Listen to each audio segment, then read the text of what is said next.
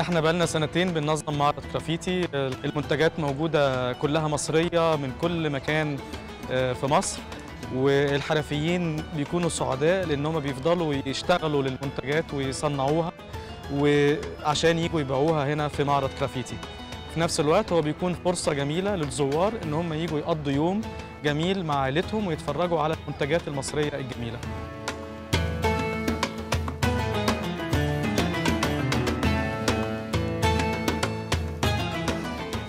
على فكرة كل حاجة أنا لابساها النهاردة وشايلاها معايا مصري. النهاردة جيت معرض بيلم الحرفيين من كل مصر من الصحراء من الجبل من الشمال من البحر من الجنوب عشان نشوف شغلهم الجميل.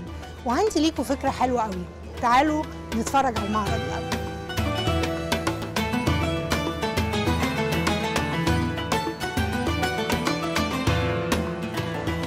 فكرتي هي إن مدام كريسمس جاي وسواء بتحتفلوا بكريسمس وبتجيبوا هدايا للأطفال في العيلة وكل العيلة أو حتى في الشغل بنعمل Secret Santa مثلا وحاجات كده رمزية فبدل ما أروح أجري على المول وأبتدي أدور على هدايا وأتلبخ لا ليه ما أجيبش الحرف اليدوية الجميلة وده الثيم السنة دي؟ ده بقى الشغل السيوي مفيش ست في سيوة ما عندهاش الشال ده وده على فكرة ألوان البلح يعني درجات ال- ال- البلح لما ما- مثلا بيبتدي آه، أحمر وبعدين أصفر وبعدين أسود. لو بصينا على الجلاليب دي بصوا الشغل بصوا الشغل الفظيع ده. دي البنات بيقعدوا يشتغلوها من وهم صغيرين سنة ورا سنة لحد ما تكبر وتتجوز بيها.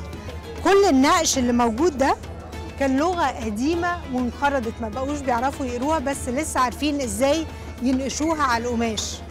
ده شال قيم جدا جدا هيروح cadeau لحد مهم جدا جدا. غالبا مامتي.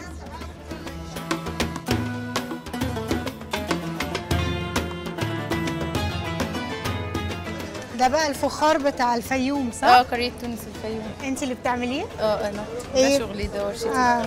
ده كله يدوي معمول آه يدوي كله handmade إحنا بنجيب بودرة وإحنا آه. اللي بنبدأ نصنعها وانتوا بتلونوها في يدوي في الآخر يدوي كل حاجة بتبقى يدوي طب- بنشتغلها وبعدين بنبدأ نخف وزنها مم. وبعدين بنبدأ ندي الخلفية اللي هي البيضة دي وبعدين بنبدأ نرسم طب سؤال أقدر أغسلها؟ عادي تغسليها دي محروقة على درجة حرارة 1200 آه. صحية جدا تدخل غسالة أطباق وللديكور وبتستحمل حاجات سخنة جدا هاخد مجين ده الحلو إن هم handmade فبرضه بتحسوا باختلاف انه كل واحد له شكله واختلاف في آه اللون طبعاً، شوية آه. والحجم جمال. أنا هاخد الاثنين دول. ماشي. Okay؟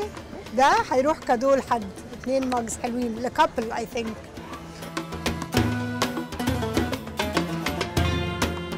قولي لي انت منين؟ من حلايب الشلاتين حلايب وشلاتين. يا وجايبة لنا بقى شغلكم الجميل ده ده شغل مختلف خالص. بصوا بصوا الشنطة حلوة إزاي؟ وده مين اللي بيشتغل الحاجات دي؟ دي هي مجموعة سيدات في سيدات آه. بتعمل الخوص بالحرير آه. في الخوص بالجلد برضه. كم حد كم ست بيشتغل في معانا 140 ست. وبعدين في روح البحر كده في صدف وفي آه، بصوا الحلقة ده ده جميل. بصوا. حلو قوي لذاذ قوي. أنا هاخد دول أكيد. آه. ده إيه ده؟ شجر ده قرع. قرع. في جدادنا الكبار الستات كل ست دي موجودة معاها من أيام أمها. حاطة فيها العطور والزيوت والحاجات بتاعتها. هي بتفوح من برا عشان بتفوح العطر والحاجات okay. يعني لا أنا لو حطيت فيها عطر وعلقتها في البيت بتفوح. تفوح الريح. أنا بقى هاخد الحاجة دي عشان أنا أنت تراثنا. حسستيني إنها غالية جدا.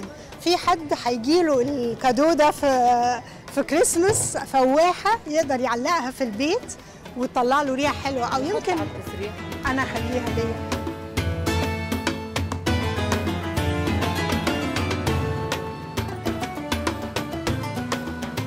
السنة دي مش هجيب هدية لحد إلا حاجة يدوية مصرية صميمة لأن الحاجات دي بتنقرض وفي ان إحنا إن إحنا نعيشها. بس للأسف إحنا بنروح نجري على المول ونجيب حاجات من بره بدل ما نفضل معيشين حرفنا الجميلة.